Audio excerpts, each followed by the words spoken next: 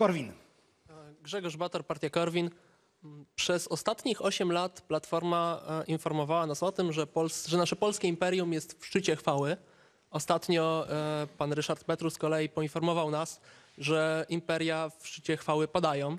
E, Rozumiem, że nowoczesna na ten upadek czeka i stara się wykreować na taką rzekomą ostatnią deskę ratunku dla Polaków. I tutaj mam pytanie do pana, panie pośle. Czy ta rzekoma nadzieja dla Polaków nie okazuje się, jak widzimy, e, klubem posłów, którzy po pierwsze nie wiedzą, e, ile wynosi kwota wolna od podatku, którzy nie umieją znaleźć marszałka Sejmu na sali sejmowej, którzy, e, tak jak pan Ryszard Petru ostatnio powiedział, że mm, Piłsudski zdołał przeprowadzić zamach majowy już po swojej śmierci. I wreszcie, że nie okazuje się to klub, e, nie okazują się ci posłowie klubem, e, który jest liderem w Sejmie, jeżeli chodzi o wnioski o przerwę.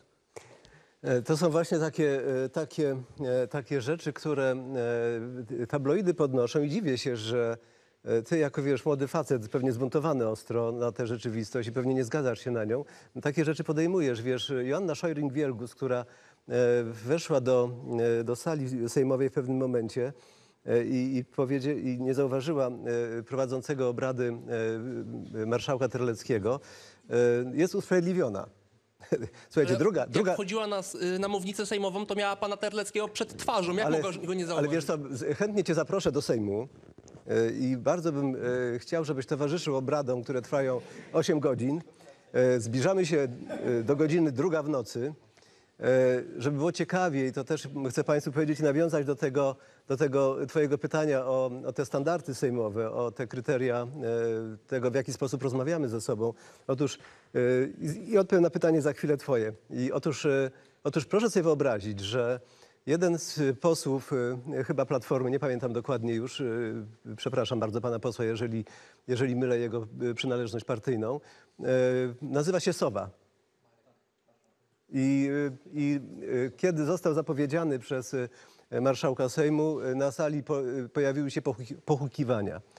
Kiedy pojawiali się, czy pojawiały się posłanki z rozmaitych klubów, żeby na przykład z nowoczesnej pojawił się lekarz. Mamy bardzo, mamy dwóch lekarzy w naszym gronie poselskim. Jeden z nich mieszka gdzieś pod Szczecinem, prosił o to, żeby zapewnić jeszcze jedną karetkę karetkę, która obsługiwałaby ludzi umierających. Nam są potrzebne karetki, bo ludzie umierają. Taki jest, taki jest zwyczaj ludzki, że w pewnym momencie po prostu wchodzą w taką przestrzeń, kiedy odchodzą od nas. To są takie rzeczy jakieś niezwykle, niezwykle y, trudne i dramatyczne i wówczas y, potrzebna jest pomoc. Nie udało się tej pomocy niestety uzyskać poprzez e, przyznanie temu miastu 800 tysięcy, żeby, mogła, żeby mogło e, kupić karetkę. I, e, I myślę, że te takie właśnie rozmaite zachowania, czy, czy, czy jakaś niechęć, czy lekceważenie dla tych ludzi, których my reprezentujemy jako opozycja, jest nie do przyjęcia. Ja na to się nie zgadzam i proszę mi, mi wierzyć, że e, twoje pytanie jest oczywiście pytaniem e, no pewnie ważnym, wiesz, tylko idźmy dalej, wiesz. Co to znaczy, że ktoś nie zauważa marszałka? To nic nie znaczy, jest za późno. O drugiej w nocy nie, nikt nie powinien debatować na temat e, budżetu Rzeczpospolitej. To jest po prostu nie do przyjęcia sytuacja.